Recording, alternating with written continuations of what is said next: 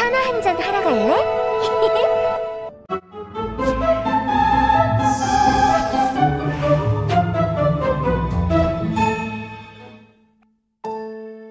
손님 하나, 손님 둘, 손님 셋.